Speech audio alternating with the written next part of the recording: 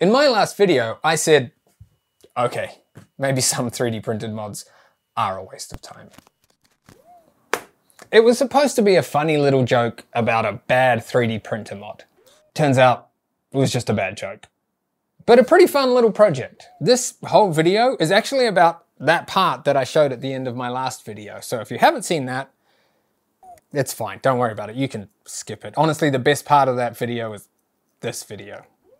Thing is though, when I recorded that, I didn't even know what kind of 3D printer mod I was gonna make. I figured it wouldn't be hard to find a dumb 3D printer mod, so the first thing I did was look at various model sites to see if anybody had made a sufficiently stupid mod.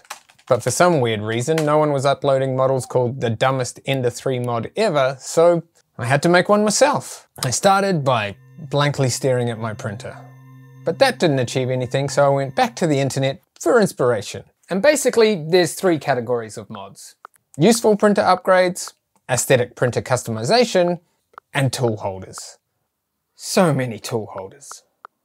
Yeah, I printed out some tool holders when I first got my printer, but I didn't like them. Like, why use this cool little drawer to keep my tools in when I could just have them sticking out all over the place, getting in the way and falling out if I move my printer? I'm just gonna say it.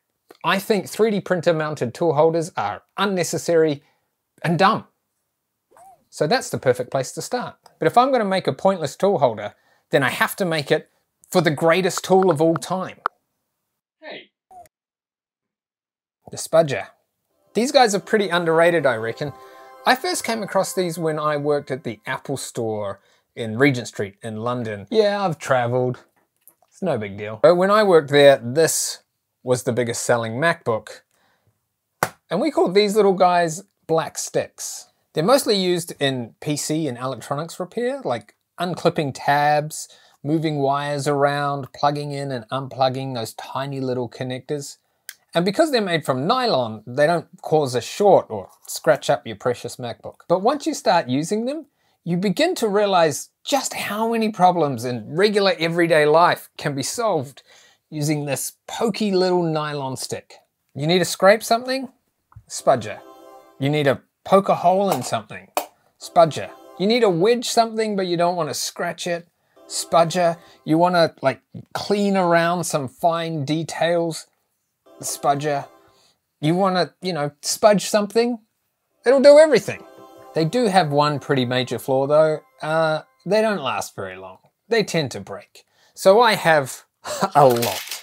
I actually looked at 3D printing my own ones and these turned out better than I expected. There's a few different models that you can find online, but I don't think PLA or even FDM printing is the, the best way to make one of these. Yeah. If I really wanted to design and make my own spudgers, I'd probably just use the sponsor of this video, PCBWay.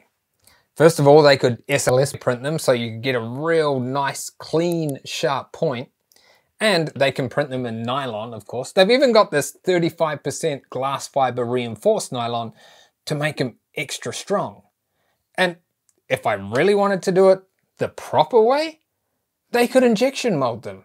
I could never do that. So check them out in the link in the description for whatever your next project is.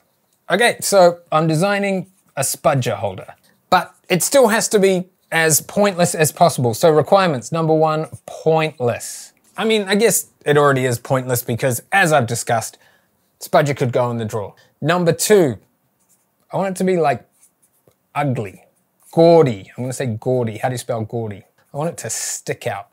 So like physically, I want it to stick out like all the worst tool holders do. But also I just, I want it to be ugly. Like this, this, okay, this is cool, but this like blue and yellow filament, it really stands out. It doesn't match the vibe of my printer. Yeah, my printer has a vibe, okay? It's a very cool printer. His name is Diesel Ironwood. That's, that's very manly. So we got to counter that. And number three, it can't hold too many spudges. If it holds too many spudges, then it's a useful thing. So after a bit more staring at my printer, but this time whilst holding a spudger, this is my basic sketch. Okay, time to model this. Man, it's been a long time since I did this. Um...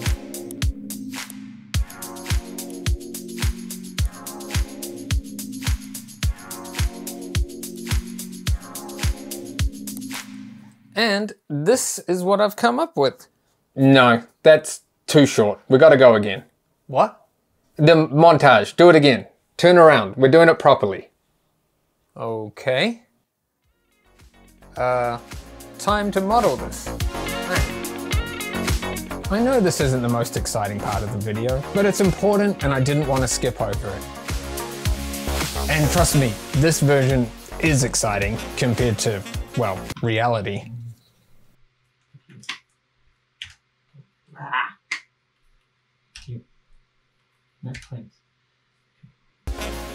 It had been so long since I used Onshape. I've spent so much time making videos recently, I haven't had a chance to actually make a thing. So this took way longer than I expected it to. I could go on, but I think you get the point. And this is what I've come up with. And this one's only the first draft. Now I knew I hadn't optimized this part for 3D printing, but I really had no idea how hard it would be to get these supports out.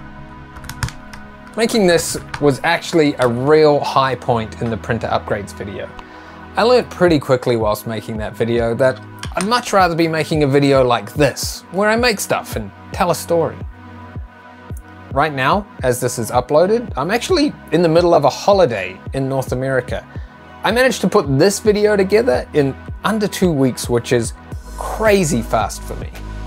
And I already like it way more than the last video. If you also prefer these kind of stories about making videos rather than talking about printed videos, then please leave a like on this video so I can, you know, feel validated.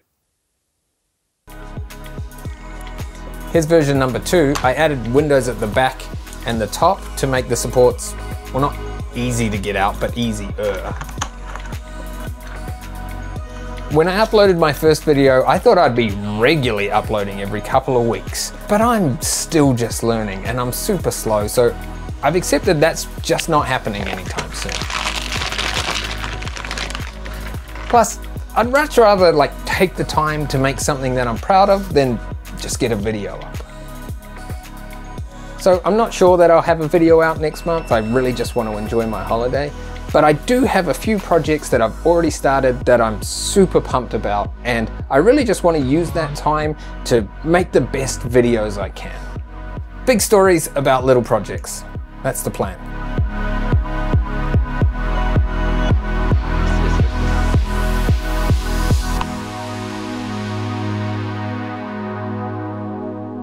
And here it is, ready to be mounted. Look, I know this is dumb, but making this and making this video is so much more enjoyable than blabbing on about printer upgrades. So I really want to make more videos like this and more, well, stuff that's better than this.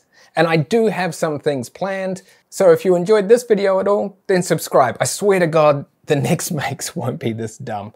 But uh, yeah, as for this thing, looks like there's a few more supports I need to poke and scrape out. Uh, I think I'm gonna need some sort of a specialized tool for that. Anyway, while I go find something, look at this cool thing I made. Bling bling.